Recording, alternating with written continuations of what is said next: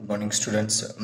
Let us discuss uh, in last concept. Uh, in last session, we discussed the examples uh, uh, on the sample space, mm, significance of sample space. Now, let us discuss an examples on test of significance of proportions. Okay, so uh, the example is like this: a coin is tossed thousand times and head turns up 450 times. Okay, they toss the coin hundred times and we get the hand, uh, head as 450 times. Decide on the hypothesis that the coin is unbiased Im, unbiased means impartial. That means it is a fluctuation okay?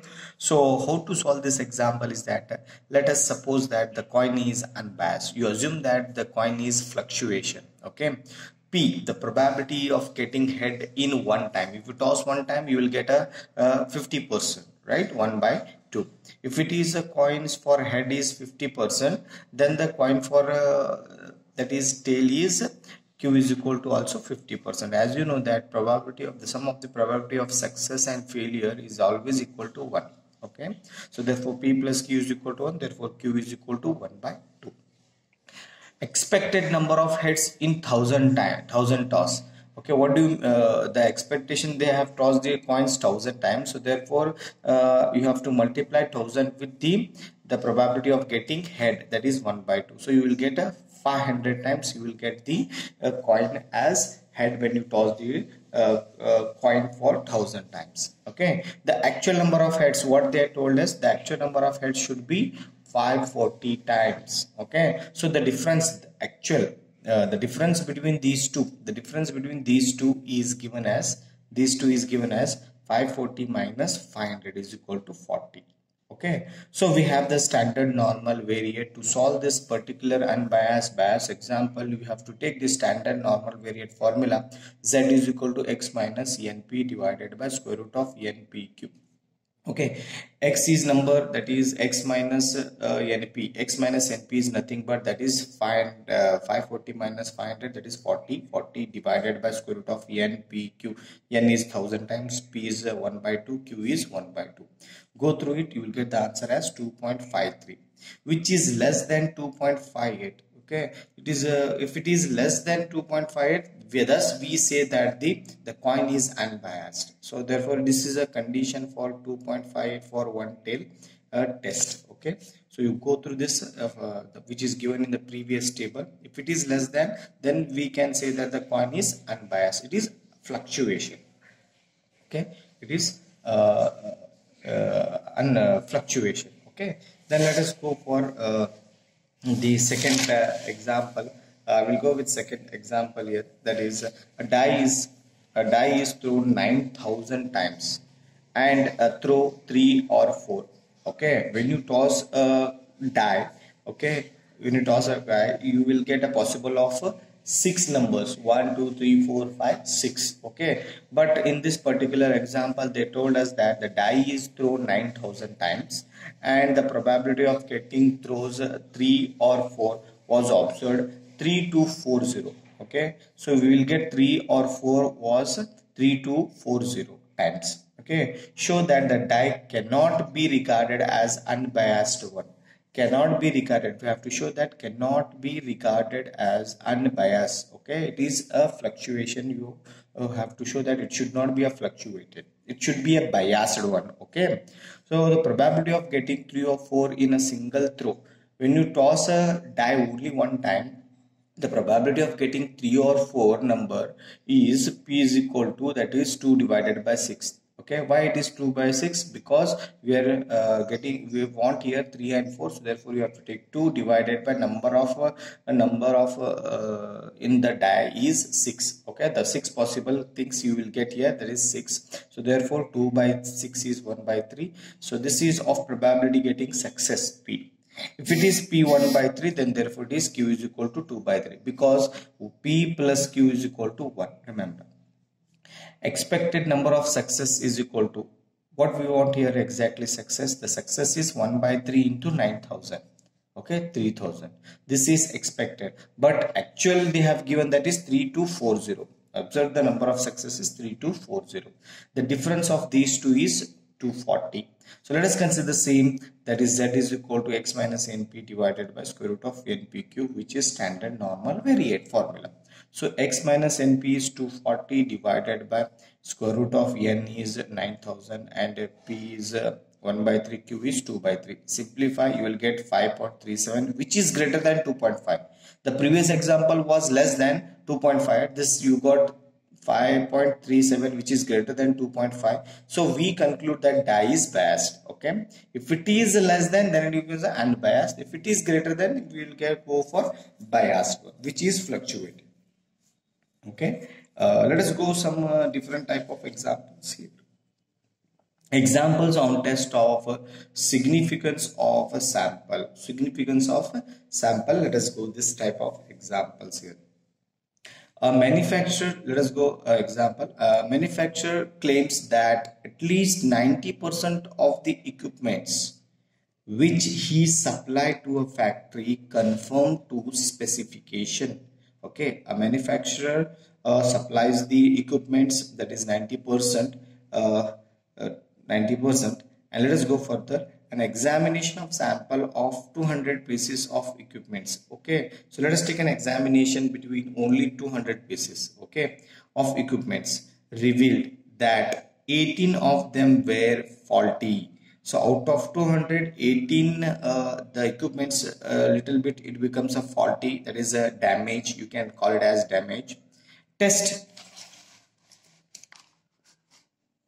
Test his claims at a significance level of 1% and 5%. You have to calculate the significance level, claim of significance level at 1% and 5%.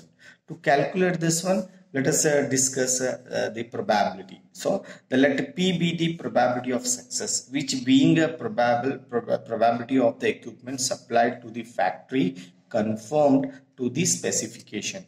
The probability by the data is given as P is equal to 0.595. Why? Because 90% of the equipments he is going, he is going to sell okay to the factory. So the probability of success is 0.95. Hence failure is Q is equal to 0.05. So H naught probability of is 0.95. The claim is correct. This is one correct one. And H1 is probability is less than 0.95 that is uh, whatever the less than 0.95 that is the false one which he is not going to supply for the factory. We choose one tail test to determine whether the supply is conformal to the specification. To choose this one let us go for one tail test here. So for one tail test you have to find the mu mean mean uh, np is equal to 200 into 0.95 that is 190 Standard deviation is square root of NPQ. You will get 3.082.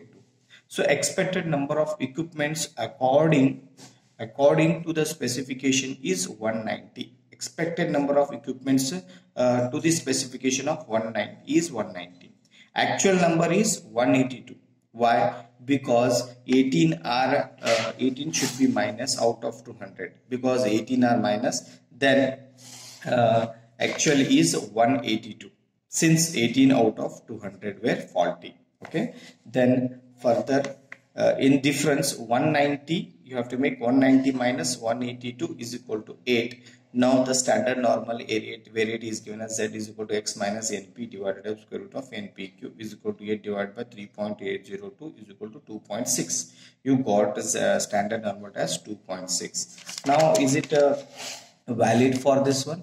Here how to check this one the value of the z is greater. Now see it. The value of the normal variate is greater than the critical values. What are the critical values for one tail test? The critical values for one tail test is I have given that is uh, 1.645 for 0, 0 0.05 percent 0 0.05 and uh, normal variate z 0, uh, 0 0.01 is 2.3 so see it both are like this for one tail. So it is 2.6 we got here. So therefore the value of the z is greater than the critical value 1.64 at 5% level and 2.33 at 1% level of significance. The claim of the manufacturer that is null hypothesis that claim is correct is rejected why both we are uh, is greater. So therefore it should be rejected at 5% as well as 1% of level of significance in accordance with the one tail test. Okay? Uh, similarly uh, you go through the uh, other examples that is examination I have given uh, in this particular example. So you go through this you can understand the previous example is also same okay? Uh, let us go for next type of example here. The next type of example is uh, examples on test of significance of a difference between means. Different between means. This is one type of uh, an example. Last type of example here. Uh, in an elementary school examination the mean grade of uh, 32 boys was 72 the mean of 32 boys is 72 and the standard deviation of the uh, boys is 8 while the mean grade of 36 girls are was 75 the mean is 75 the standard is 6 for the girls. Test the hypothesis that the performance of the girls is better than the boys. You have to test the hypothesis that the performance of the girls is better than the boys. Uh, okay for this one let us go. We have a formula. I have given that difference formula. You go through the notes there in last class. So we have the mean of the boys is 72 uh, the standard deviation of the boys is 8 and the number of boys are 32 similarly girls is having mean 75 standard deviation is 6 and number of the girls are 36 okay? So consider the formula. This is the formula i have given in the last class. Z is equal to x uh, bar g minus x bar b divided by square root of sigma square g Eng plus sigma b. This is this is girl, this is boy, this is girl, this is boy. This is a difference. This is a formula. Substitute the values which is available here. So you finally got that is 1.73. Now how to check this one? The uh, girls are better than the boys. 1.73 you got the standard normal variate that is that is equal to 1.73. Now you observe is it greater than 1.645 of 0.05 percent? Yes, one tail test and 1.73 is less than 0 0.0 2.33 this the difference in the performance of the girls and the boys in the examination is significant at 5% it is greater okay? Where it is greater it is a significant okay? Uh, this is less than okay? Significant at the 5% uh, level but not at the 1% uh, level okay? Significant level at the uh, that is 5% uh, and not at the 1% level. So this is you can observe by the table. Okay. Then let us go for another one example is there. Same example you follow the same example is it here. The example is uh, the sample of the 100 bulbs produced by the company same is the signification level we go through it. Let us go for the last example here. Okay. The last example is the mean of two large samples of the 1000 and 2000 members are 168.7 centimeters and 170 centimeters. Can this can the sample be regarded as drawn from the same population of standard deviation 6.25 centimeter? No. So here it is mean is given. One is uh, one is uh, uh, x1 as 168.7 this is first one uh, for 1000 and second one is for 170 for 2000 the formula is given. This is a corollary which i have given in the uh, last session. You go through the corollary. If it is like this then you got 5.16 thus z is equal to 1.6 is very much greater than this values. And also it is greater than thus we say that the difference between the sample mean is significant. And we conclude that the if it is greater than you can say the significant. Uh, we conclude that the sample cannot be regarded as drawn from the same population. Okay. So this is uh, one type of uh, example. You go through it and uh, let us ask these some uh, uh, quiz questions in the uni.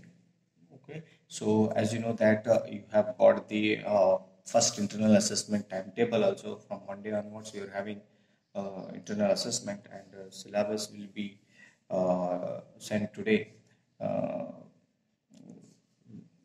by me or by Sarika madam uh, in a group okay? So go through it study it and do well okay? So we'll let you know how to give the examinations on online. Uh, will tell you how to go it. And uh, only the two concepts remaining in this particular uh, the last model one is chi-square method and the other one is t distribution.